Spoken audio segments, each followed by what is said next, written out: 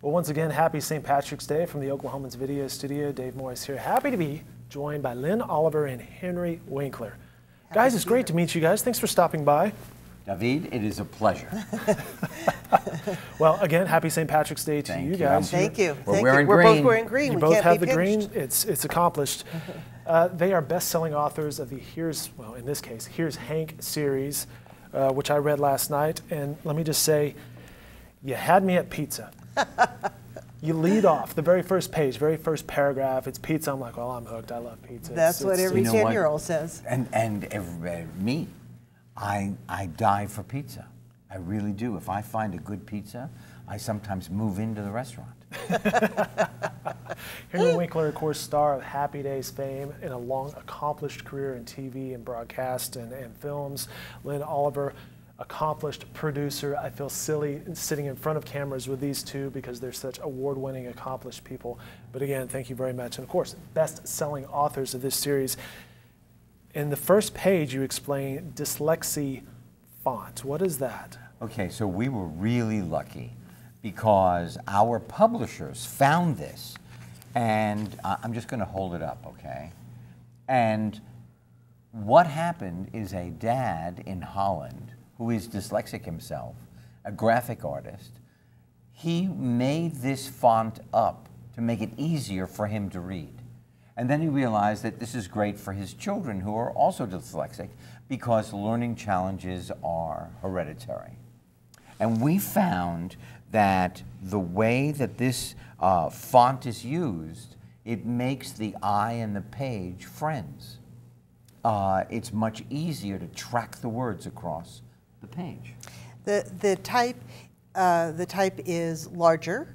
It's more heavily weighted at the bottom because if you have a reading problem, the letters tend to float up around the page, so it, it grounds the letters. They go up higher and down lower, so you don't co confuse a B and a G. And so what we found is it was created for people with dyslexia, but for all kids, it makes it easier to read. Because when you're seven or eight, you're just learning to read. So it gives them every advantage physically to be able to enjoy the book. Well, this kid, when I was reading the book, it was the same thing. This is a very easy to read book. Mm-hmm. Uh, we should say that Hank is the main character, Hank Zipzer, and you guys have multiple uh, books talking right. about our Hank hero. is me. Hank is short for Henry. And Zipzer was a woman who lived on the fourth floor of my apartment building growing up. And we thought it was such a zippy name because Hank Zipzer loves his Zipzer attitude.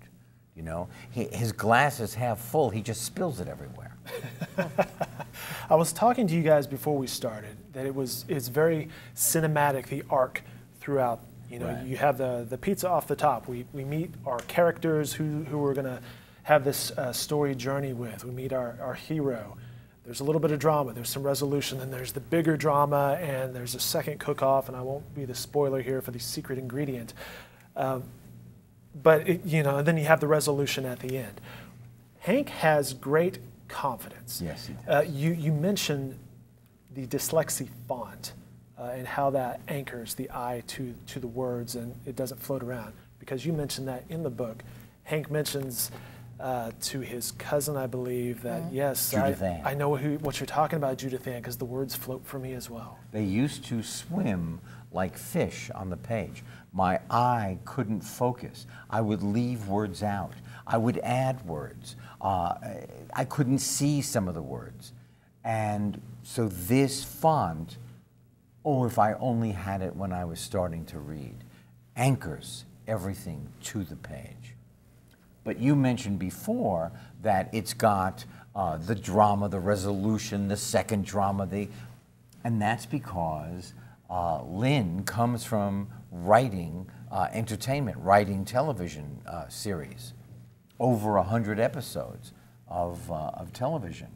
So we learned how to tell that story because you got to keep it moving, or people are going to change the channel. We hope that they keep moving and buy the next book. I think it's important to add that while there's drama in the stories, our books are essentially comedies. So what we're intending to do is introduce kids to reading by making them laugh. So when you laugh, you're having a good time, it's a pleasant experience, and then you want to have more and you want to have more. So our books are really gateway books to for children to learn the love of reading first. Yeah. Chapter two has a quiz, for example, of uh, foods that Hank could uh, cook, create with one hand tied behind his back. It's true. Toast. It's a peanut butter and jelly sandwich Absolutely. with grape, Very easy. with grape and strawberry. I Right, a glass of ice water. You just don't put too much ice in there, or your lips will stick to the glass. a peanut butter um, sandwich, you take small bites, or you'll never open your mouth again.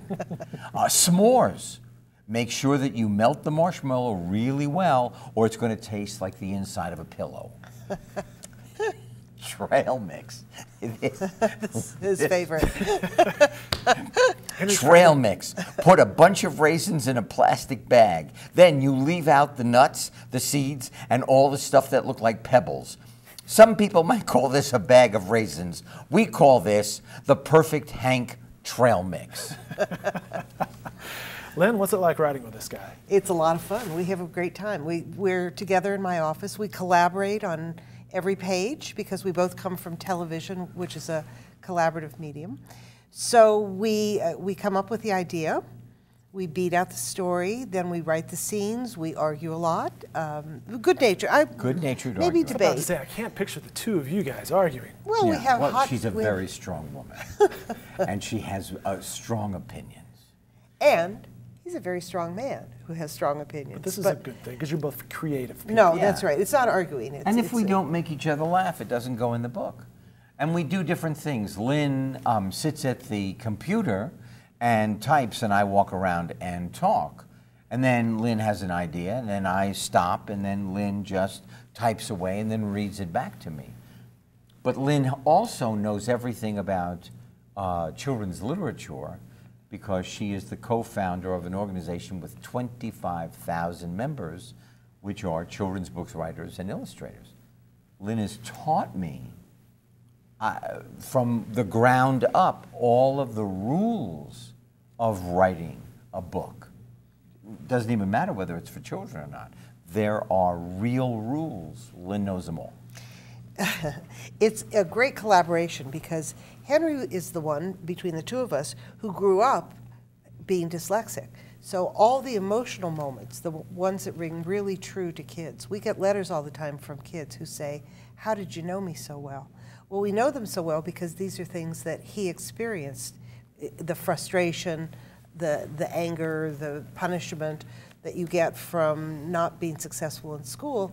He had all of that experience. So along with the laughter, there's always a at the bottom of it a true moment, and so that he always provides that. If it were me, I would probably go off more into a joke kind of thing.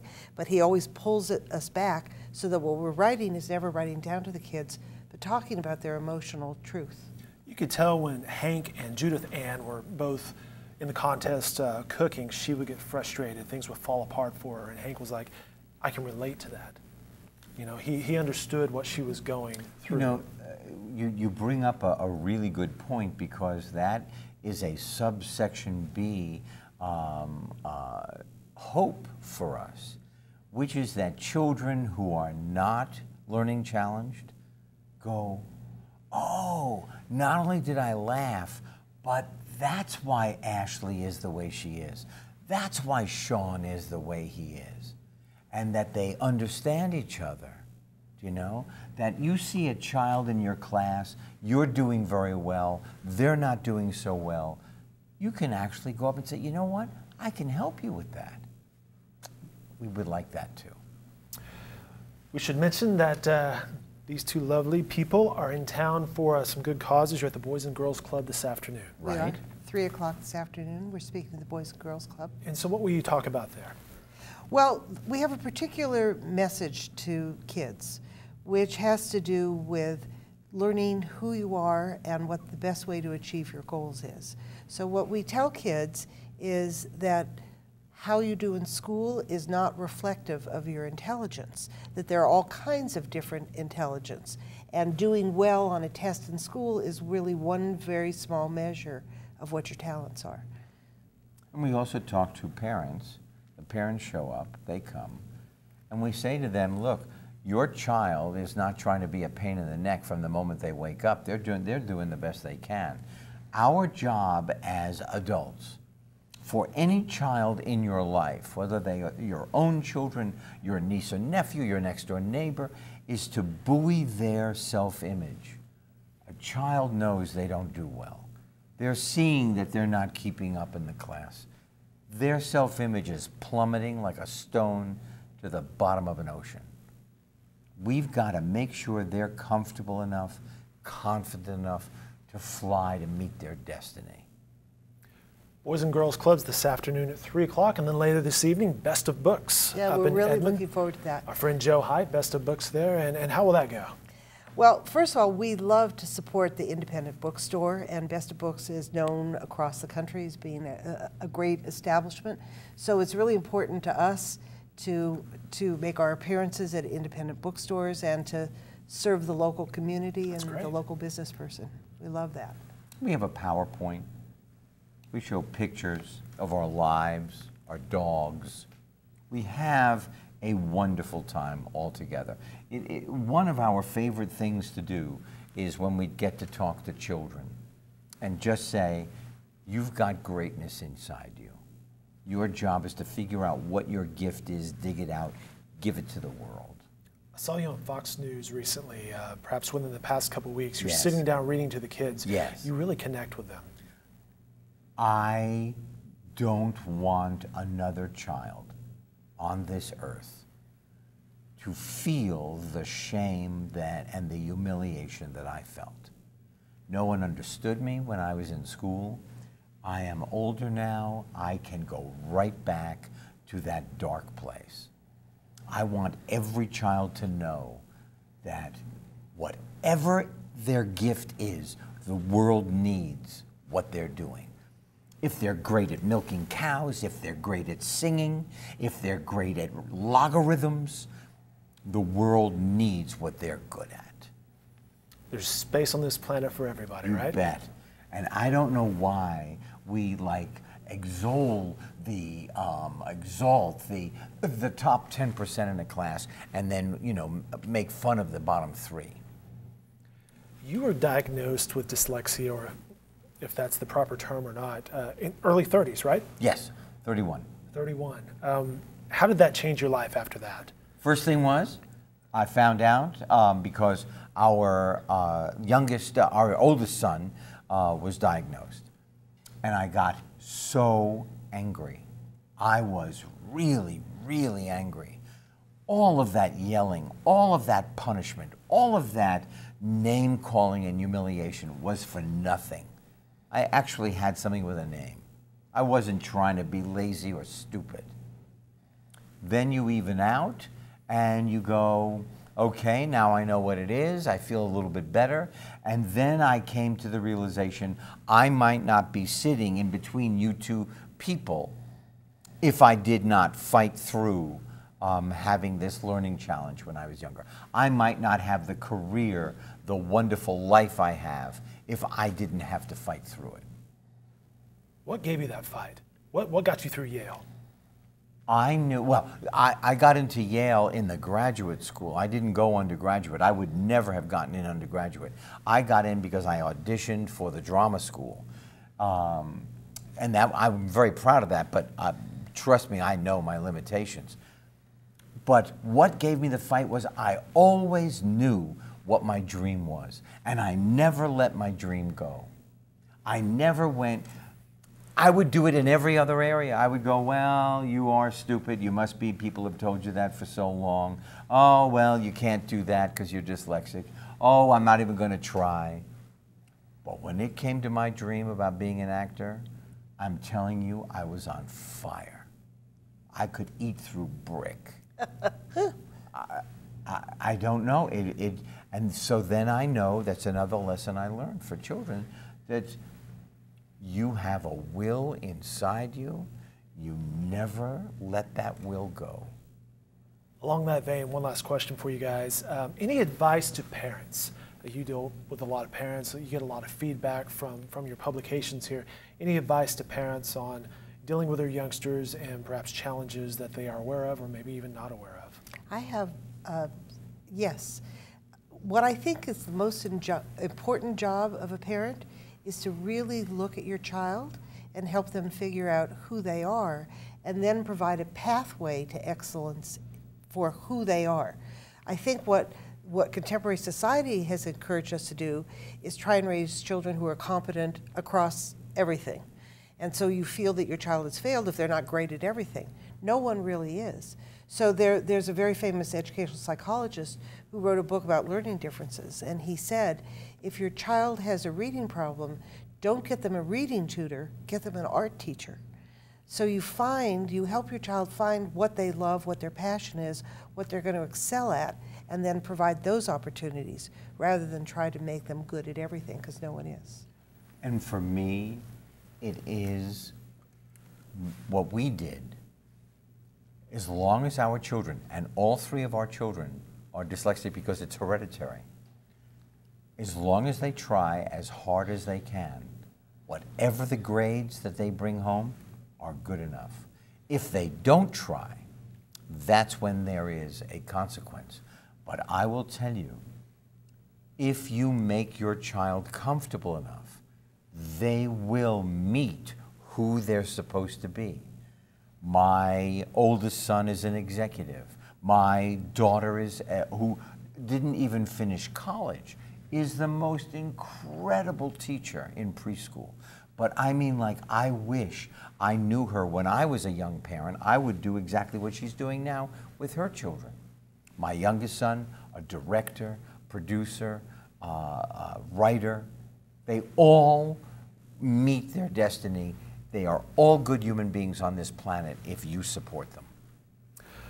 One last point. Uh, of course, he starred as, as the Fonz on I Happy did. Days, the leather jackets in the Yes. Smithsonian. Uh, you know, you see the movie uh, The Martian in the book, and there's that A reference. Isn't that great? Is li- lived on in pop culture. What is your thought when you see these things pop I, up? you know what? It is a great compliment. I love the Fonz. Uh, he, he built a house around me. He put food on my table, sent my kids to college, introduced me to the world, and I did that all by saying E. and then I added one word, whoa. and I built a career on that. Not bad. Henry Winkler, Lin Oliver, guys, it's been a pleasure to Yeah, meet you. I really. enjoyed Thank the you. Conversation. Uh, the book you, we David. referenced, by the way, here's Hank. You can't drink a meatball through a straw, which is a perfect I reference. I tried it to- once and I passed out. Sure to pick up these books, uh, Best of Books up in Edmond and your other local bookstores. Can I just well. say, because I have no shame, this is the seventh of a 12 book series that we're writing. So, there, if your child likes this, there are six others to enjoy. It's a best selling series and it's a good read. Guys, thank you very much. Thank you so much. Thank you, David.